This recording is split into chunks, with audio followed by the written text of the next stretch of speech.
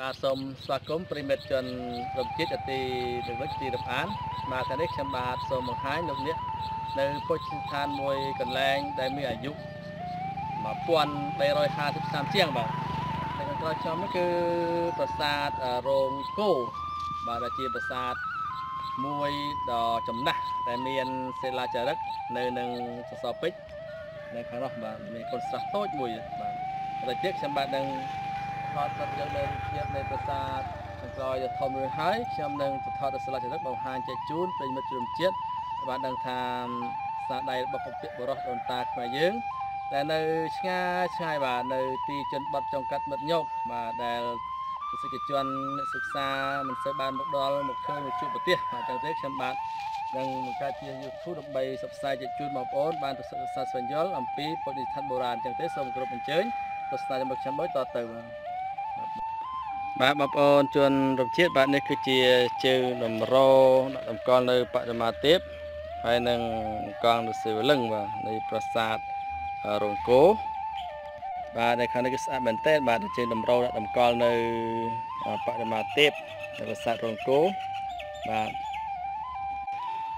បាទសូមអញ្ជើញទស្សនាបន្តបាទនេះគឺជាដុំថ្មបាយក្រៀមនិងថ្មភក់ដែលនៅសេសសល់ បាទនៅទីទួលមួយនៃប្រាសាទរង្គោបាទដែលជាប្រាសាទមួយដែលកសាងតាំងតែសតវត្សទី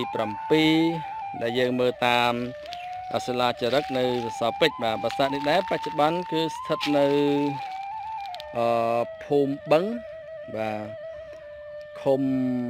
រស័យលោកសុជីក្រែងខេត្តសៀមរាបប្រទេសកម្ពុជា បាទសូមអញ្ជើញទស្សនបន្តនេះ បាទបងប្អូនបាទនេះគឺជាគុណតម្លៃរបស់បាទពពាកបរោះដូនតាខ្មែរយើង ដែលលោកបានកសាងប្រាសាទជាទេវស្ថាន ប្រាសាទគឺជារំនៅឋានរបស់អធិទេពប្រាសាទគឺជាវិមាន ប្រាសាទគឺជាសាលារៀនប្រាសាទគឺជាវត្តអារាមរបស់ហិណ្ឌូដែលបព្វការីជនខ្មែរដែលលោកបានកសាងបន្សល់ទុកមក អស់រយៈកាលជាង1000ឆ្នាំមកហើយបាទមកដល់បច្ចុប្បន្ននេះបាទបាទគូអយអាណិតអសរបាទបាទការទុកចោលឲ្យយូរអង្វែងបាទបាទដោយគ្មានការអភិរក្សនិងថែរក្សាបាទឥឡូវយើងបានឃើញកំពុងតែមានការថែរក្សាហើយបាទបងប្អូនបាទតំថ្មដូចច្រើនបាទបាទសូមអញ្ជើញទស្សនាបន្តបាទ ដែលយើងអះអាងឃើញថាប្រាសាទនេះដែលយើងអះអាងថាជាប្រាសាទកសាងនៅពាក្យកណ្ដាលសតវត្សទី7នៅក្នុងរាជព្រះបាទជ័យវរ្ម័នទី1ដោយយើងបានមើលផ្អែកទៅលើសសរពេជ្រហើយនឹងសិលាចារឹកដែលចាភ្ជាប់នឹងបាទសសរពេជ្រតែតែម្ដងបាទតែជាប្រាសាទកសាងនៅក្នុងសម័យចេនឡាបាទនេះគឺជាដុំថ្មបាយគៀមសោះចាំមែនទេបងប្អូនបាទសោះចាំបាទបាទ សូមជួយទស្សនាបាទបាទសូមអញ្ជើញទស្សនា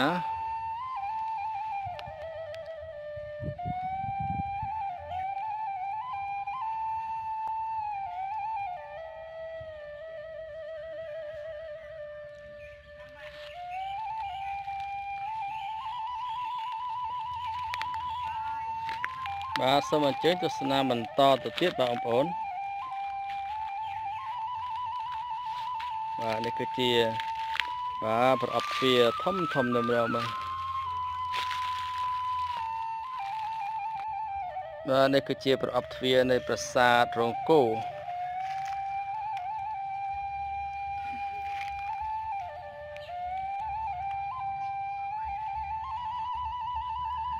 បាទថ្មគៀមនៅសរីប៉ាយបាទ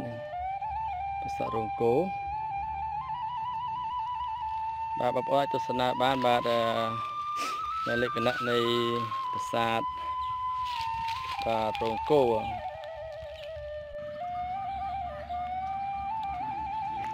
បាទនេះគឺជាដុំថ្មដែលរាយប៉ាយទស្សនភាពជំវិញនៃប្រាសាទរង្គោដែលជាប្រាសាទមួយដ៏អស្ចារ្យដ៏ចំណាស់បាទបាទបងប្អូនបាទសូមអញ្ជើញទស្សនាបាទនៅ ថ្មបាយក្រៀមដែលនៅរីប៉ាយបាទបាទនៃប្រាសាទសូរិយាអស់សំទោប្រាសាទរង្គោបបាទប្រាសាទរង្គោនេះផងដែរក៏ជាប្រាសាទមួយដែលត្រូវបានកសាងតាំងតែពាក់កណ្ដាលសតវត្សទី7និងចុងទី7ដើម្បីឧទ្ទិសថ្វាយទេពសាសនាហិណ្ឌូបាទហើយជាប្រាសាទមួយដែលកសាងអំពីថ្មបៃក្រៀមប្រកបទៅដោយបាទ ប្រអប់ទ្វារថ្មភក់បាទទៅនេះផាជាកំពូលកណ្ដាលបាទនៃប្រាសាទនេះបាទសូមអញ្ជើញទស្សនាដោយសេចក្តីរីករាយអឺប្រាសាទនេះដែរគឺស្ថិតនៅឯភូមិបឹងឃុំរសីលោកស្រុកជីក្រែងខេត្តសៀមរាបប្រទេសកម្ពុជាបាទបាទសូមអញ្ជើញទស្សនាបន្ត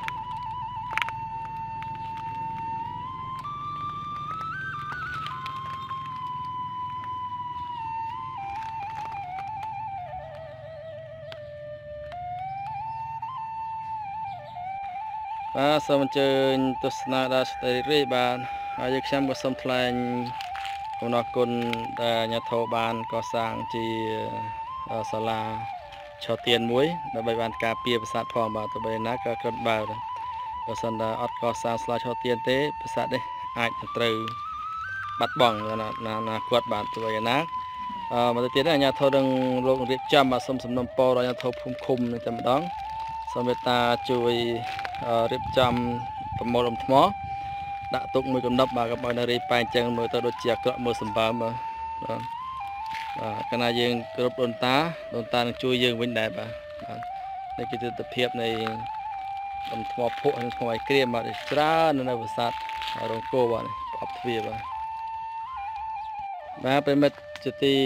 មេត្រីបាទសូមអញ្ជើញទស្សនៈបន្តនៅបាទ ថ្មភក់និងថ្មឯក្រៀមនៃប្រាសាទរង្គោបាទដែលជាប្រាសាទស្ថិតនៅភូមិបឹងឃុំរសីលោកស្រុកជីក្រែងខេត្តសៀមរាបប្រទេសកម្ពុជាយើងបាទឥឡូវសូមគោរពអញ្ជើញបងប្អូនទៅទស្សនាសិលាចារឹកនៅនឹងសសរពេជ្រដែលចារឹកតាំងតែសតវត្សពាក្យកណ្ដាលសតវត្សទី7និងចុងទី7នៅក្នុងរាជព្រះបាទជ័យយៈបរមទេវៈទី1បាទបាទសូមជិះបន្តបាទ បាទមុននឹងទៅថតរត់យកនៅសិលាចារឹកខ្ញុំបាទសូមគ្រប់អញ្ជើញបងប្អូនទស្សនានៅស្រះបុរាណដ៏ធំបាទតែនៅពីមុខប្រាសាទត្រឹមតែបាទ4ម៉ែត្រ5ម៉ែត្រប៉ុណ្ណោះក្នុងប្រាសាទបាទស្រះដ៏ធំដែលនៅមុខប្រាសាទរង្គោបាទដែលជាការជីកដោយកម្លាំងបាយឡើងសធាបាទបាទនេះគឺជាចម្លាក់បដិមាតោ ហើយនឹងសសរពេជ្របាទសសរពេជ្រនេះផងដែរគឺមានសិលាចារឹកបាទនេះ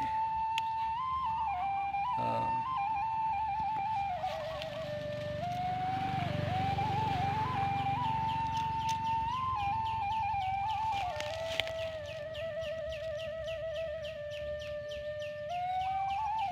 បាច់ដល់ស្រស់ស្អាតតែម្ដងបាទ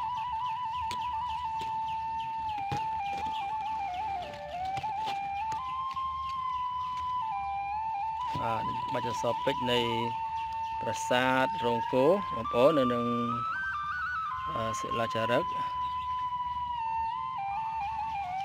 បាទសូមអញ្ជើញទស្សនាដោយរេបាទបាទនេះគឺជាដុំថ្មបាទបែកក្រៀមនិងថ្មភក់និងសិសលនៃប្រាសាទរង្គោនេះបាទ អថ្មនេះគឺល្អល្អទៀតបាទថ្មឯក្រៀមបាទ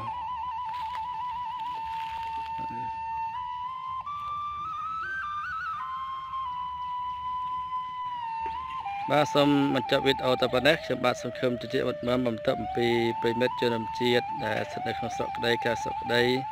បានទស្សនានៅវីដេអូឃ្លីបរបស់ខ្ញុំបាទដែលខ្ញុំបាទដំណើរនៅ YouTube កម្ពុជាតាមរកខាងកោ សូមជួយ Subscribe YouTube ខ្ញុំបាទហើយនិង Like Share ដើម្បីបានទទួលនៅវីដេអូថ្មីៗខ្ញុំបាទសូមសិទ្ធិពរជ័យនៅប្រពោបុណ្យរកាយុវនស្កពលៈនឹងចូលចម្រើនទាំងអស់គ្នាបាទសូមអរគុណនិងអរព្រះគុណ